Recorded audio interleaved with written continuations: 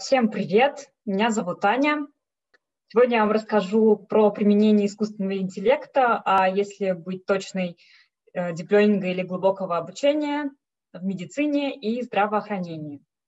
Сначала немножечко о себе. В феврале исполнилось 6 лет, как я работаю в Intel.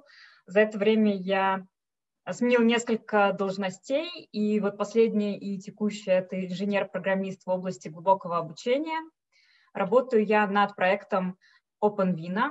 Это такой набор инструментов и библиотек для программистов, нацеленный на то, чтобы ускорить а, инференс или вывод глубоких нейронных сетей на различных платформах Intel. Но работаю я не как разработчик, то есть я не контрибьючу код на GitHub, а я работаю с нашими заказчиками. Потому что не всегда достаточно только сделать просто крутой продукт, но а, в любом самом идеальном продукте все равно найдутся какие-то баги, нужны будут обязательно новые возможности, новые фичи.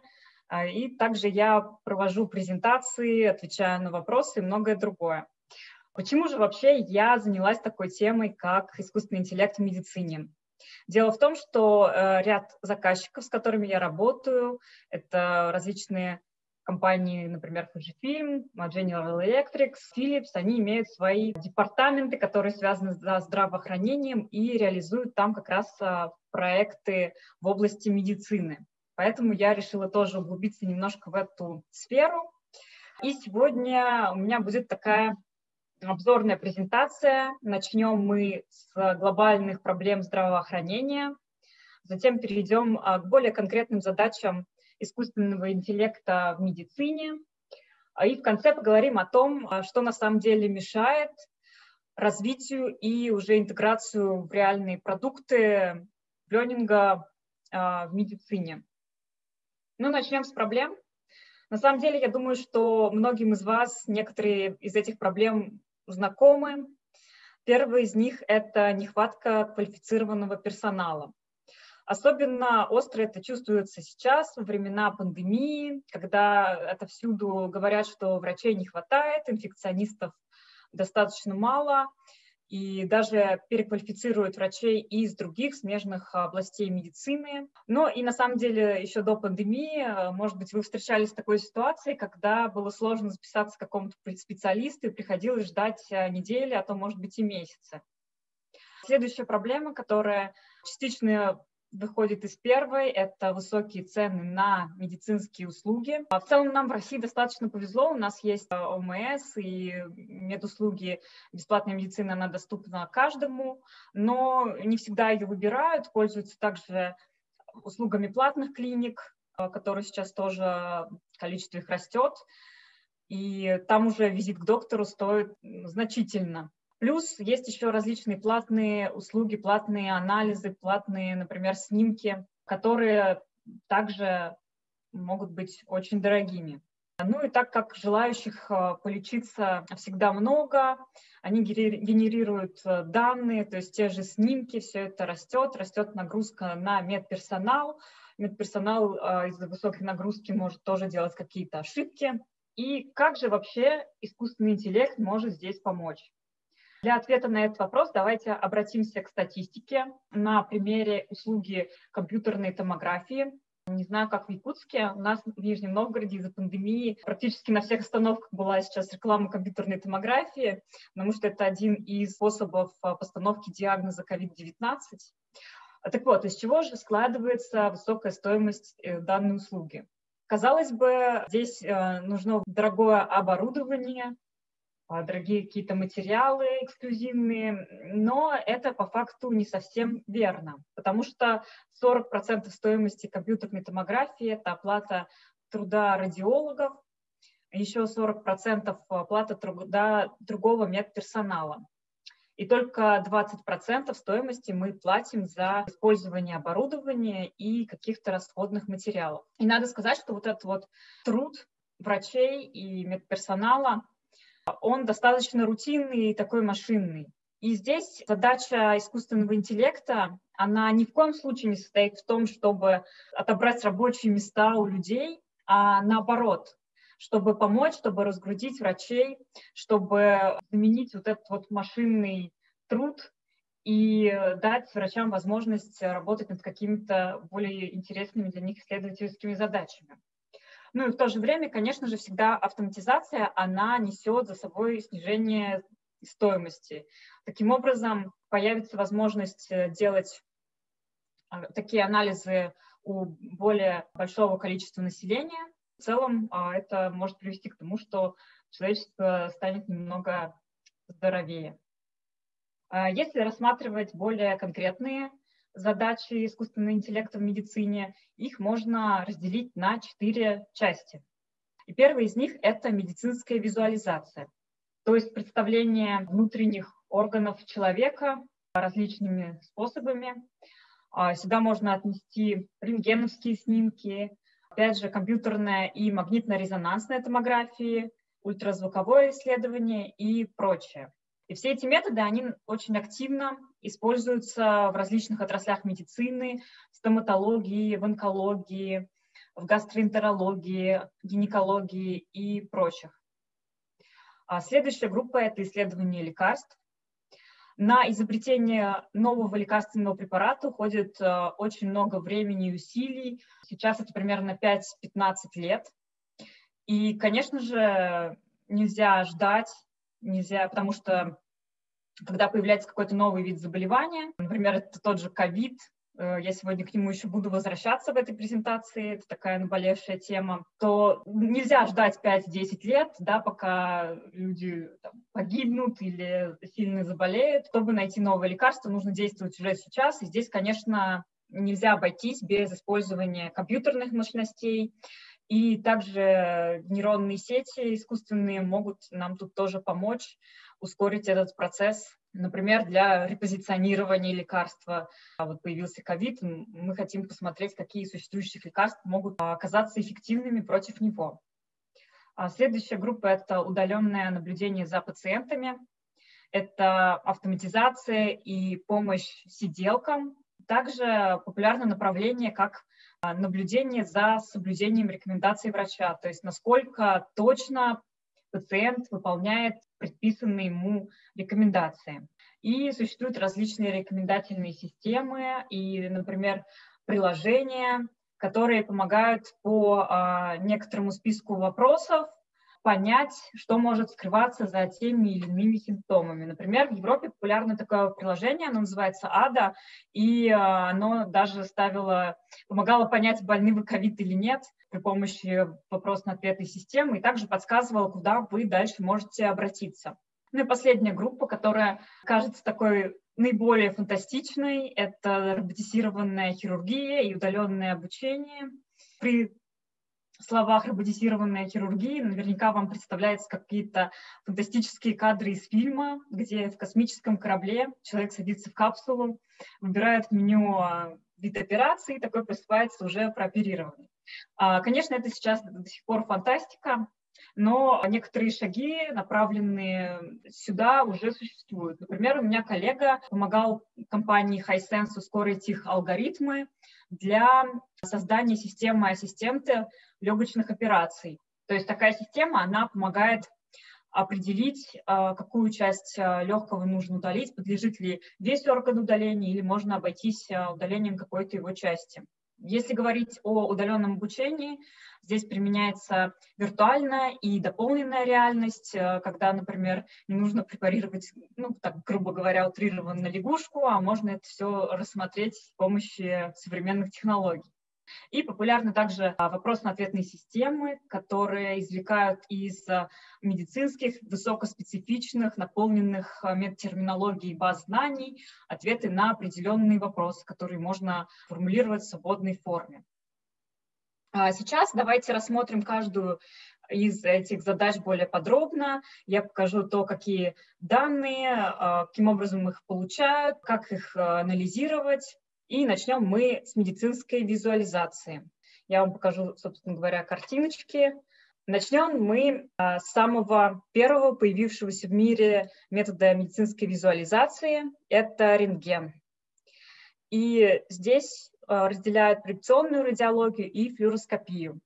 Объединяет их то, что оба анализа основываются на рентгеновских лучах, где у нас есть какой-то генератор этих лучей и проектор, с помощью которого генерируется картинка. И, но в случае проекционной радиологии мы получаем единичный снимок, а в случае флюороскопии а, там можно рассмотреть орган, если требуется в режиме реального времени. Если переходить уже к трехмерным исследованиям, здесь можно видеть э, компьютерную и магнитно-резонансную томографии.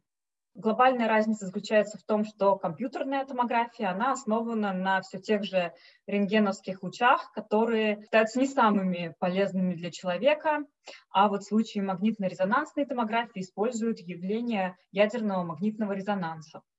Но, а, как вы видите на слайде, в принципе, оборудование устроено похоже. То есть если в случае рентгена у нас излучение подается с какого-то одного из одной точки, из одного ракурса, то здесь оборудование позволяет подать излучение с различных углов и посредством метода получить уже трехмерное изображение.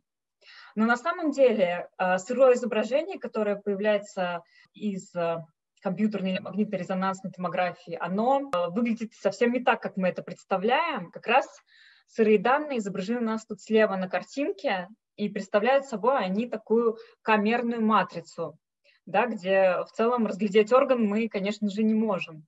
И чтобы уже получить э, какое-то членораздельное изображение, нужно э, этот сигнал оцифровать. Для этого применяют преобразование Фурье. И также, так как это на самом деле очень большие объемы данных, а, было бы здорово избавиться от шума и оставить только ту часть, которая несет а, действительно какую-то информацию. Кроме того, данные с МРТ обладают еще некоторыми другими особенностями. Они хранятся в трех анатомических проекциях. Это горизонтальная, сагитальная и фронтальная. Также они обладают тремя модальностями. Т1, Т2 взвешенные и так называемый флеер. Модальности можно провести такую аналогию с РГБ-каналами обычного изображения. И между модальностями состоит разница в том, с какой частотой подавался сигнал, сколько времени ушло между подачей э, сигнала и приемом обратного сигнала. Для таких данных существуют э, специфичные форматы хранения. Например, это могут быть нефти или диком. Эти форматы, они на самом деле сейчас очень развиты, и э, существует множество визуализаторов для них, платных, бесплатных. И э, в языках программирования, например, в Python есть специальный модуль, чтобы работать с такими типами данных. Хочется еще отметить э, про то, что размер данных даже после оцифровки какой-то а, чистки, он все равно остается большим. То есть, например, одно изображение диком, оно может быть ну, если сравнивать с другими картинками в формате больше, чем 4К. А, следующий вид исследования – это УЗИ.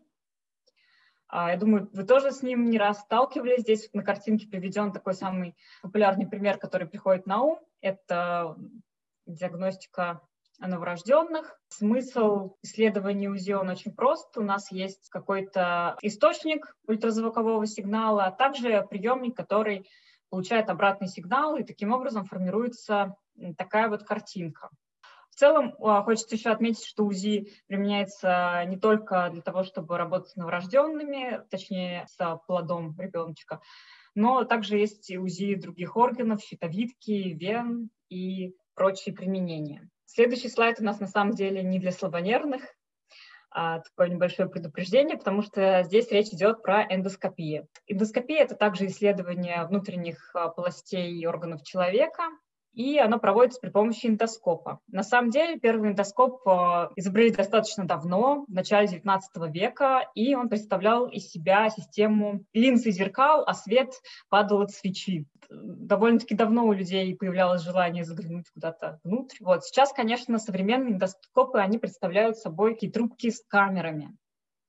И также в гастроэнтерологии, где эндоскопии достаточно популярна, хотя эндоскопия не ограничена только на гастроэнтерологии, а в других областях, например, вот у лоров, э, прочих врачей это тоже достаточно популярно.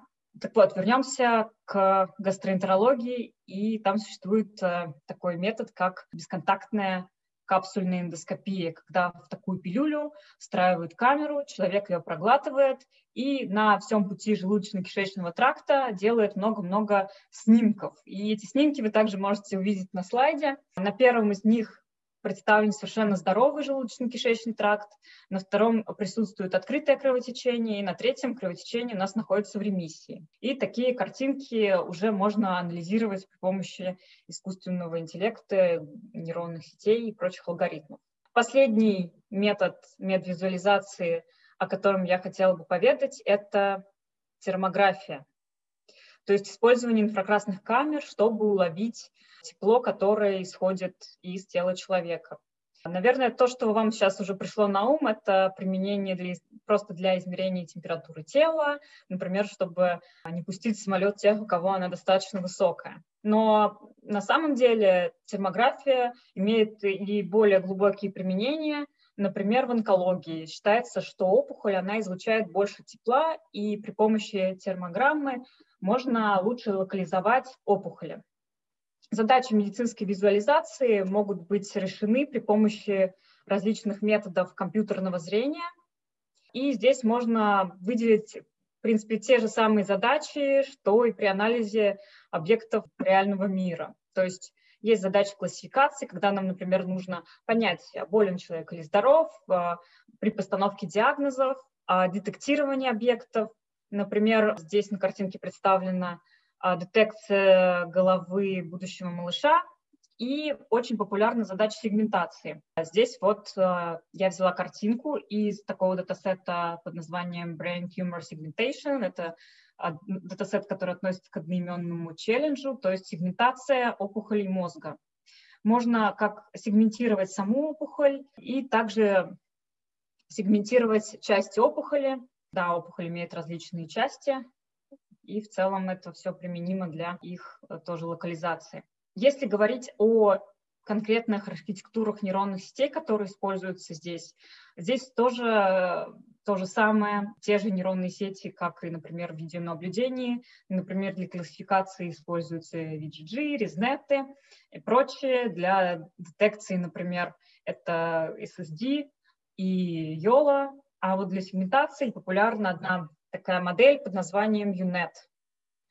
А, существует э, две версии, одна двухмерная, другая трехмерная, соответственно, для данных. Здесь вот представлена а, схема двухмерной модели. Когда мы сегментируем изображение, мы все больше детализируем, извлекаем мелкие фичи, а для того, чтобы вернуться и локализовать а, нашу сегментацию на исходной картинке, выполняется операция апсэмплинг.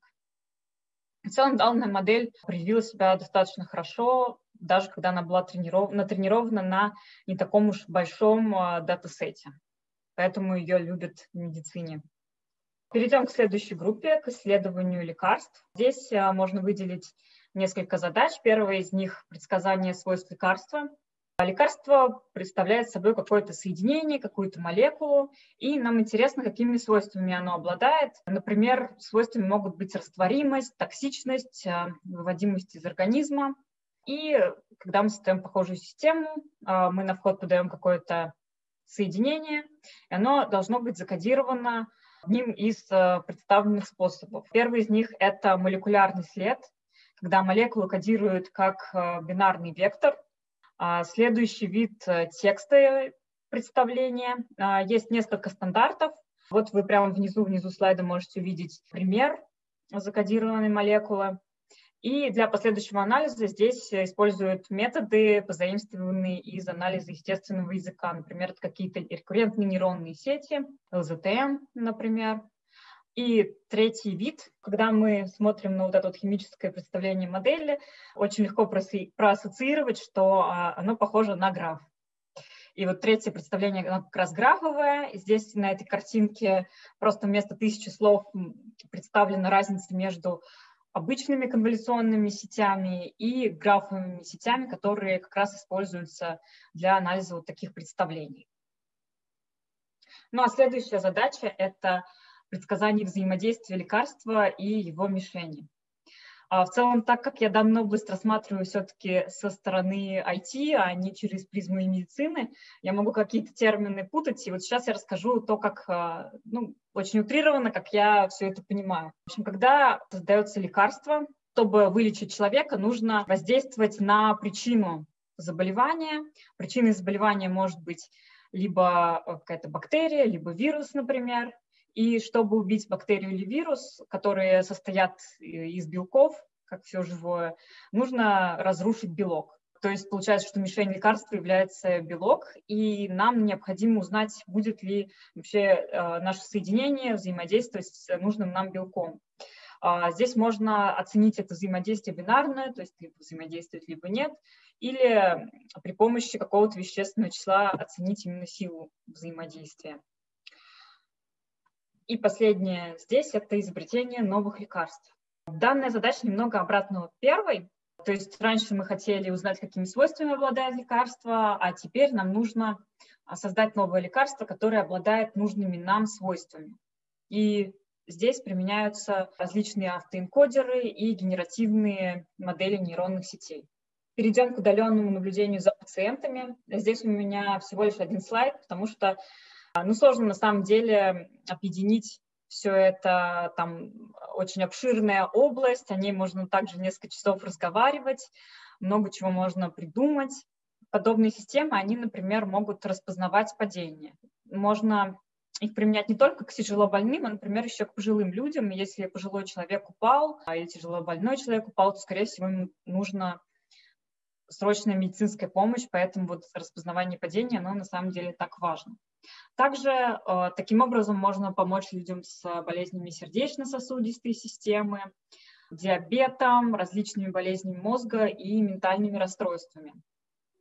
Данными здесь могут поступать электрокардиограммы, электроэнцефалограммы, пульс, давление, температура, э, геолокация, уровень сахара в крови и прочее.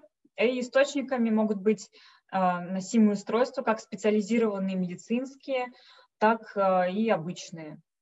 При помощи камер тоже можно извлечь а, достаточно много информации. Я знаю, что сейчас, например, можно пульс камеры померить. Ну и, конечно, так как сегодня компаньон каждого человека – это смартфон, то из них тоже можно извлечь очень много данных и сделать какие-то приложения, которые помогали следить за пациентами перейдем уже к финальной такой части, поговорим о том, что может препятствовать внедрению искусственного интеллекта а, в область здравоохранения и о том, как можно всего этого избежать.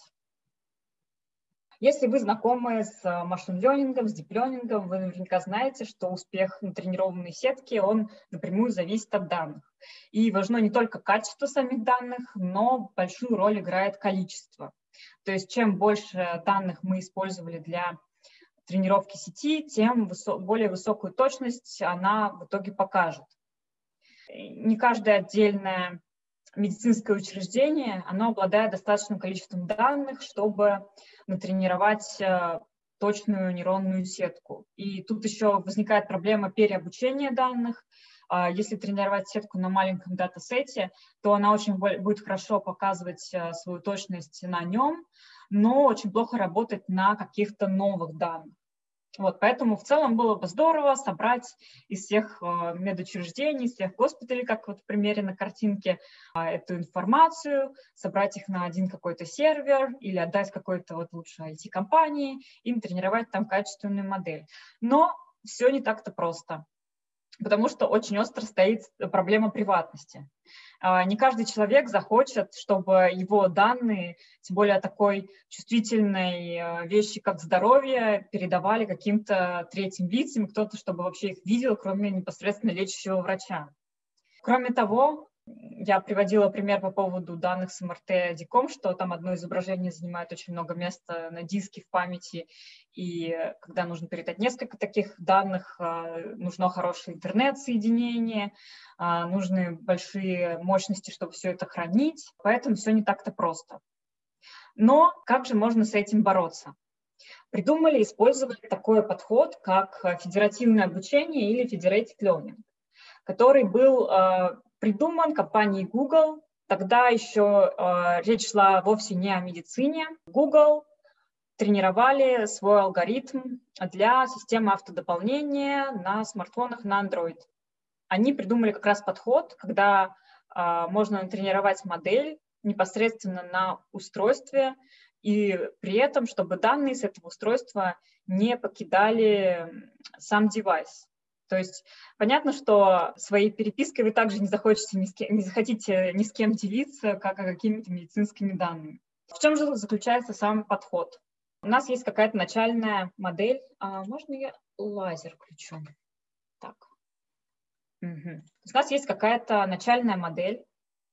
Она а, отправляется на устройство, где на каждом устройстве она немножечко дотренировывается на тех данных, которые там находятся. Естественно, это происходит, когда телефон на зарядке и нет других э, каких-то задач. Далее эта самая модель, она инкриптится, то есть данные ни в коем случае не покидают устройство, покидает устройство только модель, причем э, в зашифрованном виде. Она отправляется на определенный агрегационный сервер, где веса моделей со всех устройств, они определенным образом суммируются и усредняются. И затем в итоге получается какая-то новая промежуточная модель, которая проходит все тот же путь. Вот так вот итеративно. Что же, как же это все выглядит в сфере здравоохранения? То есть по, по сравнению с централизованным обучением, федеративное обучение – выглядит следующим образом. У нас есть какая-то модель, она отправляется в, в данном примере в несколько госпиталей, где надо обучаться на тех данных, которые принадлежат а, этим учреждениям, и только модель, опять же, отправляется на сервер, где происходит а, обновление этой модели, и дальше все происходит итеративным путем.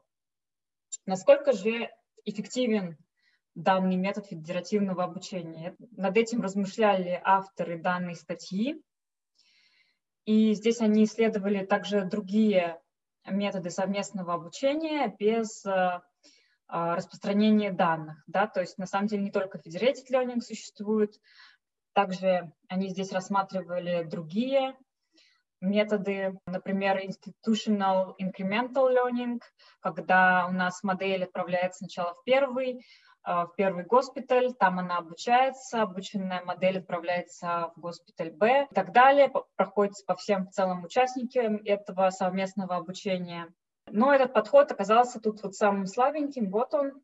А, более усовершенствованный вариант, когда вот это вот итеративное институционное инкрементивное обучение происходит а, циклично, то есть несколько итераций проходится, и этот вариант уже чуть получше оказался. Ну, а наш Federated Learning, он вот здесь, и мы можем видеть, что результаты, в принципе, сопоставимы с вариантом, если бы все данные собрали в одном месте и обучили модель, то есть с централизованным обучением. А здесь вот как раз пример того, как Federated Learning был использован для создания моделей постановки диагноза COVID-19. А для меня на самом деле было немножко удивительно, что Диагноз ковид можно ставить не только по рентгеновским снимкам и компьютерной томографии, но и при помощи УЗИ легких.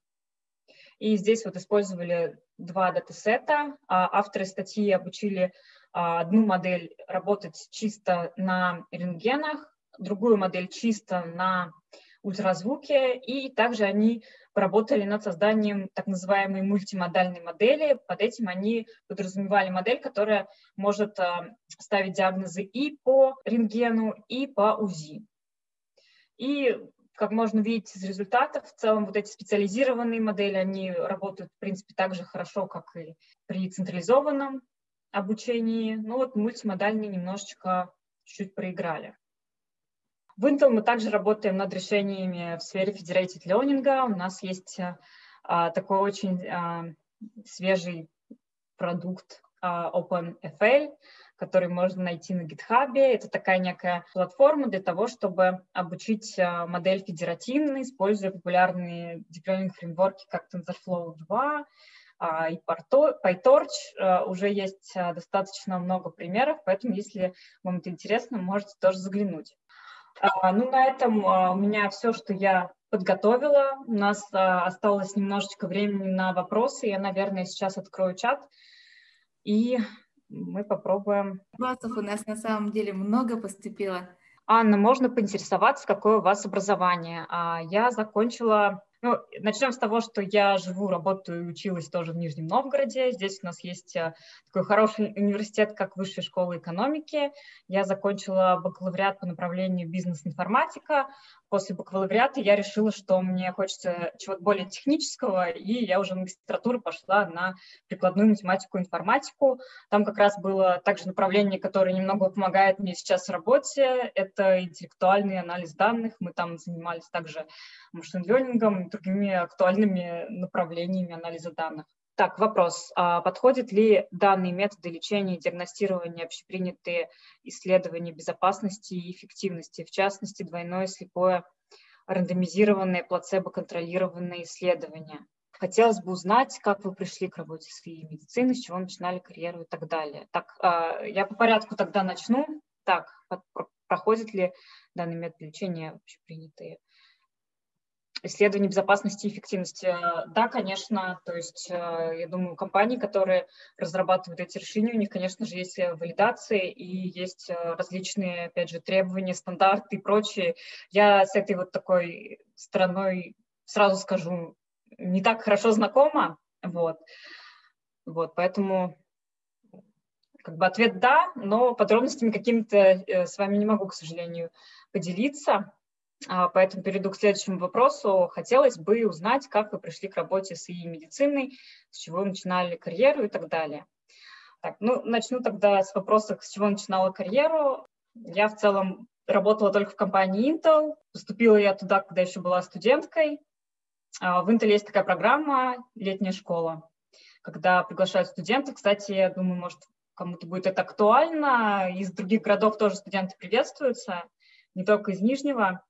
А, когда приглашают студентов на пару месяцев а, поработать над какими-то задачами, которые можно выбрать из списка, тоже прособеседоваться туда.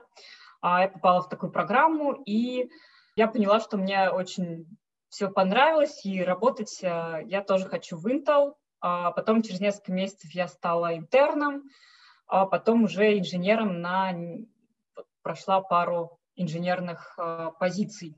И, ну, я в начале презентации немножко рассказала про то, как я именно пришла к а, взаимодействию искусственного интеллекта и медицине. То, что на самом деле я помогаю нашим заказчикам а, работать э, с OpenVINA, и многие из них, они как раз реализуют свои проекты в медицине. И поэтому мне пришлось немного также поработать с этими данными, вникнуть в эту тематику. Она, мне кажется, очень такой интересной и актуальной, потому что здоровье, оно актуально всегда.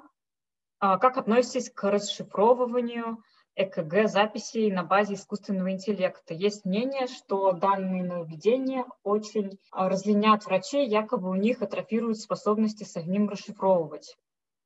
Но ну, тут на самом деле у меня такое позитивное мнение, что а, есть какие-то задачи, которые ну, такие довольно рутинные, и врачам, наверное, хотелось бы тоже заниматься какими-то исследованиями, и когда а, вот эту вот рутину заменит искусственный интеллект, у них будет а, для этого больше времени, они будут как-то, возможно, даже больше развиваться. Какие новые программные обеспечения в дальнейшем будут внедряться для врачебной работы? Особенно интересует работа нейросети в ФЛГ-кабинетах и так далее. Ну, тут на самом деле я тоже не скажу, что я могу отвечать за прям всю вот сферу медицины, потому что каждая компания, они предлагает какое-то свое решение, а, вот, э, поэтому давайте просто последим за какими-то новостями. А, очевидно, что неправильное применение машин-лернинга для манипуляции со здоровьем человека влечет за собой гораздо больше рисков и моральной ответственности, чем неправильное применение машин-лернинга, например, в ритейле. Да, согласна, что действительно все, что связано с нашим здоровьем, это очень трепетно, очень важно. И опять же, тут можно вернуться к тому вопросу про какие-то требования, которые проходят данные системы. Конечно, у них есть определенная сертификация, определенные требования к тому софту, которые там они используют при разработке. Но, с другой стороны, по сути, человеческий фактор тоже подразумевает наличие каких-то ошибок. Обычный врач, как любой человек, может также ошибиться, например. Но я думаю, что в ритейле тоже, возможно, какие-то ошибки могут повлечь серьезные последствия, кстати говоря. Никто не умрет, а если Рексис Вайлдберрис порекомендует шляпу вместо джинсов. Но я думаю, возможно, может кто-то и расстроится или почувствует себя оскорбленным. Кто знает как регулируется применение машин-ленинга в медицине законом. Это тоже такой комплексный вопрос, потому что я думаю, что э, есть в каждой стране свое законодательство и даже какое-то региональное законодательство. Я, честно сказать, не так с э, вот этой вот правовой сферой знакома, но я думаю, что вот ну, к сбору данных, опять же, есть какие-то требования, опять же, вопрос приватности. А каким софтом пользуетесь в Intel для машин learning?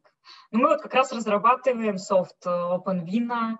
Если вам интересно ускорять нейронные сети, можете обратить на него внимание. Какие еще разработчики и разработчицы работают в вашей команде, кроме машин learning и AI-инженеров? Но на самом деле у нас как раз команда, вот, связанная с uh, AI, то есть у нас у всех, в принципе, должность Deep Learning Software инженер. Вот. Но есть еще Project Manager, конечно, как без них. Общеизвестно, что в основе современного искусственного интеллекта лежат большие данные. Не приведет ли то, что некоторые категории населения окажутся недостаточно представлены в обучающих выборках к тому, что данные системы будут предоставлять менее качественную терапию? Ну, я на самом деле склонна к тому, что внутри человека, каждый человек имеет примерно те же органы, что и другой человек. Я не знаю, насколько вообще есть какая-то разница. Не знаю, то есть, может быть, конечно, есть, например, разница какая-то между детьми и взрослыми, но, опять же, я не гораздо тут утверждать. Клиенты Intel в сфере медицины другие компании или непосредственно медучреждения. Другие компании обычно. Доходят ли эти нововведения в регионе, кроме Москвы и СПБ? Так сложилось, что я работаю в основном сейчас э, с какими-то зарубежными заказчиками, вот, но они, опять же, продают свои продукты, а куда они уже продают эти продукты, а, у меня такой информации нет. Неважно, какие модели, неважно, какая точность, супертехнологии задача в сфере здравоохранения РФ, это все полностью бесполезно. Это такой, видимо, крик души, пока на продукции не будет получено регистрационное удостоверение РУ в качестве медицинского изделия и от а, Росздравнадзора. Видимо, у нас есть весьма следующие пользователи, может Intel помочь заказчикам, пользователям технологии OpenVIN в получении данного РУ? А, смотрите, OpenVIN у нас вообще это такой продукт, он просто ускоряет нейронные сети. Неважно, что эти нейронные сети делают, да, а, то есть у нас есть заказчики не только вообще из здравоохранения, из видеонаблюдения, из того же ритейла, а, каких-то производств, вот, и мы на самом деле даем как бы только вот такой инструмент для разработчиков, то есть мы полную цепочку не прослеживаем. Сервисы Intel предоставляются как API или как локально запускающиеся программы. А, ну вот данный продукт OpenVIN – это как раз именно API. Какие SPPVR используют технологии OpenVIN VRF? А, можно, пожалуйста, уточнить расшифровку этой аббревиатуры? И вот Афанасий, он а, послал нам расшифровку. Так, какие системы поддержки принятия врачебных решений использовать технологии. Ага. Ну, честно сказать, я тоже тут э, не сильна, потому что мы вот помогаем компаниям, а как они дальше, какие у них каналы сбыта, кто и уже заказчики наших заказчиков мы немного не отслеживаем, вот, э, поэтому, к сожалению, не знаю, не могу ответить. Конечно, было бы действительно интересно на это посмотреть, вот, но такой статистики у меня нет. Возможно, еще, опять же, вот мы, например, сейчас помогаем кому-то какой-то solution а, там, ускорять, разрабатывать, да, а, но должно пройти время, чтобы это все вышло в продакшн, чтобы это как-то кто-то это все купил. Опять же, тоже это такое, есть небольшая задержка в этом. Так. Что означает ML? Машин learning или машинное обучение. Угу. Окей. Так, ага, пришел вопрос. Можете, пожалуйста, сделать мастер-класс по OpenVIN и Federated Learning, а, задачи, кейсы, ответы на вопросы. Но... Это, видимо, вопрос и, и, и тебе, и мне. Да, Я не против. Мы обсудим этот вопрос еще с Анной и посмотрим, как там вообще с расписанием и с графиком у Анны или ее коллег будет. Если получится, это будет вообще замечательно. Надеюсь, что Анна видит сейчас, что этот вопрос вообще очень живой отклик у наших слушателей вызывает. И очень-очень много вопросов. Да, мне очень приятно на самом деле а, читать такие глубокие вопросы порой, на которые даже, может быть, я не совсем знаю ответ. Mm-hmm. А, а вот планируется ли делать хакатон по Data Science от вашей команды? Думаю, что Intel сам проводит какие-то хакатоны как компания. Это не а, организатором, скорее всего, не является Анна, а есть ну специальные ну, да. ответственные люди. И я думаю, что вы можете это найти на сайтах, которые специализируются на этом. То есть, может быть, официальный сайт Intel или же а, агрегаторы, которые собирают хакатоны. Угу. Да, это совершенно верный ответ. Спасибо. А, а вы сейчас на удаленке работаете или в офисе? Я вот на удаленке. У нас в Нижнем Новгороде, а, если вы смотрите статистику по коронавирусу, мы там а, первые после Москвы. Вот, у нас не все так радостно, к сожалению, пока. Но я, как видите, работаю с пляжа. Идеально. Да, идеально. Ну, конечно, шучу, я тоже из дома. И сейчас еще один вопрос, скорее комментарий. Я занимаюсь data science -ом, но не думал, что он применим к операциям. Ничего себе. То есть сейчас, мне кажется, сложнее придумать область, куда data science нельзя применить, потому что сейчас это везде, а все пытаются внедрить э, в какой-то свой бизнес, технологии, и Data Science, и Deep Learning, и прочее. Во-первых, спасибо большое, Анне, за то, что ты подключилась, эм, подготовила для нас реально такую интересную презентацию. Так, спасибо всем слушателям за то, что вы задавали вопросы, активно участвовали. И сейчас можешь, пожалуйста, посмотреть, там пошли благодарности. Да, спасибо всем за внимание. Я надеюсь, было интересно, и вы что-то новое узнали, может быть, что-то вас вдохновит или вдохновило.